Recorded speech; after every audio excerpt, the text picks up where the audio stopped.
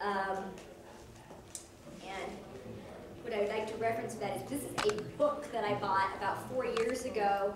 It's just an awesome book uh, that gives you a lot of insight into the, the history of the company and Mr. Tsuji, who's the, the founder of Sanrio. And it, it's really an incredible story. This, this uh, gentleman, uh, Mr. Shintaro Tsuji, who um, will be 81 this year. He became orphaned when he was 13. Uh, he was taken in by some relatives. They, you know, were raising him and kind of setting him on that traditional Japanese path where you're a salary man and you have your job and you do all that. And, and he did that for a few years and then he kind of got to feeling that he wanted to strike off on his own and kind of set his own road and he's really always taken that path ever since, which I think is really cool for anybody to have that entrepreneurial spirit and be able to go out and successfully start up a company from nothing. Uh, literally, you know, he didn't have, uh, he didn't come from a prestigious background or anything like that, and he now uh, is uh, the head of this empire, this incredible uh, billion dollar company that, that's still privately held. You can't, unfortunately, buy stocks in Sanrio. And uh, anyway, he he started off in 1960 or 61. And he was dealing in a lot of textiles, clothing, things like that. But he really started studying a lot of Western, uh, Westerners that he had that he had a lot of admiration for, like Charles Schulz. And if anybody saw my Peanuts shirt that I was wearing yesterday, it actually came from a Sanrio store. And there's very long connections between Sanrio and uh, I think it's called Peanuts Syndicate. Does anybody know? Is that right? The, um, the parent company for all of those uh, the Peanuts characters, uh, Charlie Brown and, and, so forth. Anyway, Snoopy is just insanely popular in Japan. I was in Tokyo for a week. I can't even tell you how popular Snoopy is. Uh, there's a chain of toy stores there called Kiddieland and I was in this Kiddieland, and it's like five or six stories, and one floor, everything on the floor was peanuts. Everything on that floor was peanuts. The floor below it, half of the floor was Sanrio. But everything on the one floor was all peanuts. So, I, and it's, it's very, very popular. Anyway, um, so that was, that was one of his big heroes. He was fascinated in the whole character goods industry, which had not yet taken off in Japan at that point, like in the 60s. And he, you know, had some deals that he tried, like with Mattel, with some Barbie licensing. It did not really work very well in Japan at the time. Um, he, had, he actually set up a deal with Hallmark that was a failure in the 60s. They weren't ready for Western style greeting cards there yet. But I can tell you, I was in the Sanrio Giftgate store just a few days ago, and it's in the, the same building that the Sanrio headquarters is in. There were racks and racks of greeting cards, and if you flip them over, you see that little seal that means that you care enough to send the very best. Uh, so obviously they've reignited this partnership with Hallmark. Um, and another one of his big heroes was actually Walt Disney. And uh, he was very fortunate back in the 60s to get to meet some of his heroes like Walt Disney and Charles Schulz. And he really wanted to do a lot to sort of emulate these, uh, these people. And an interesting thing, if you think about it, that's, that's different with the Sanrio characters is that they were all created as uh, merchandising tools. They were created as, uh, like Hello Kitty was originally created to be a character for a coin purse. And, oh, here it is. Here's the coin purse.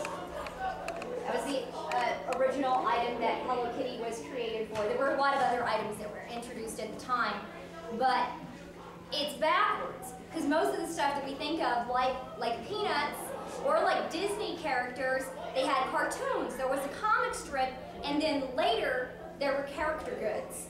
And this was exactly the opposite. The character goods were introduced first, hmm. and then many years later they did obviously start making some cartoons that were based on these characters. But the, the thing that was that's backwards is that the character goods actually came first. And uh, So I think that's fascinating, obviously it's proved to be very successful, but that is one of the reasons that there are two Sanrio theme parks, because of course if he was going to be like his hero Walt Disney, he had to have theme parks. so, you know, then you have Puroland near Tokyo, and Harmony Land, which is in uh, Kyoto, which I have not been to, but that will be remedied one of these days, I promise you. Um, anyway, uh, they're, they're, you know, Puroland is fun, but it's pretty modest, and uh, a lot of his advisors thought he was crazy to try to build this theme park, you know. You've got Tokyo Disney right there, which is a huge attraction, and people are like, you know, you're not going to compete against that, and he really doesn't. He hasn't, you know, made bazillions of dollars off of his theme parks, but they're still open and they're still going, and you know, it's just something that he strongly believes in. And what I really found from reading this book was that when he decides he's going to do something, he's going to do it. You know, he's very decisive and he just kind of goes with his instinct about what he's going to do. And I mean, overall, you have to say he's, he's done pretty well because I can just tell you, it's you, I don't think you could walk a block any anywhere in Tokyo anyway and not see Hello Kitty and Sanrio character goods everywhere. Uh, you know, I, we saw a poster near the train station which was Hello Kitty dressed as a firefighter, and it was something, you know, advertising like safety, and it, it was just a, a, random thing, you know. It, it's just really, really everywhere, and it's such a part of their culture. One of the amazing statistics that I read in here, and I think that, that the statistic is probably from about 2002, but at that, as of that time, something like 85% of all sales of Sanrio goods were within Japan. So you think about how much Hello Kitty you see at, what you say, Sears, um, Kohl's, Claire's, Target. There's so many places where you can buy this stuff. And what, only 15% of it is being sold in the rest of the world, and 85% of it is in Japan. So that's just to give you a little bit idea. And these are people that live in really, really tiny, tiny houses, you know. Um, did you have a question? I just want to comment, yeah, like during the early 80s, I was living in the Philippines. Oh, uh-huh. And over there, yeah, Sanrio and Hello Kitty was very big. In fact, I mm-hmm. remember, and I watched it, you know, the big premiere of this little uh, claymation oh, feature uh-huh, with Hello uh-huh. Kitty, Hello Meaty. And I guess, yeah, that was it was yeah that big there. I can only imagine what it was being in Japan. Right. Well, I mean, actually, yeah, Hello Kitty and and the various you know Sanrio characters very, very popular all throughout Asia. Very popular. I mean, obviously around the world in many other countries, but yes, in all throughout Asia, she is very popular.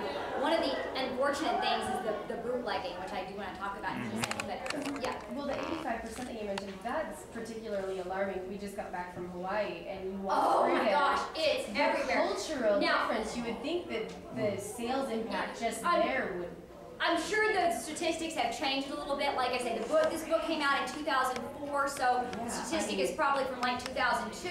But in Hawaii, yes, I've been to all of the Hawaiian Islands, and I can tell you, Hello Kitty is everywhere in Hawaii. It's everywhere. There's a chain of uh, pharmacies, drugstores over there, Long's Drugs, and every single Long's Drugs that you go into, there's an aisle that will have Hello Kitty and different Sanrio goods all down the whole aisle, but it's it's everywhere.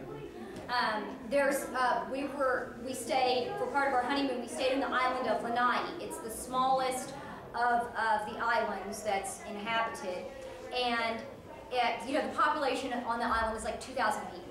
The airport is about the size of this room, and there was a gift shop in there the size of a closet, and they had special Hello Kitty goods in that airport. I have a t-shirt that's a Hello Kitty Lanai t-shirt. And as far as I know, you can only get it in Lanai, um, which is sort of one of the big coups of the whole Hello Kitty collecting phenomenon is the goal of collecting items from particular places that you can only get in that particular place. So that's one of the uh, sort of uh, niche sections of the Hello Kitty collector's market. Yeah, Maui. We went into the store in Maui, or no, actually it was Oahu, and they had a limited edition three thousand dollar kimono that you could only get in that store. Right. And it, they were actually selling them. They were doing really well with it because it's Yeah. that cultural. They can deal. they can create this stuff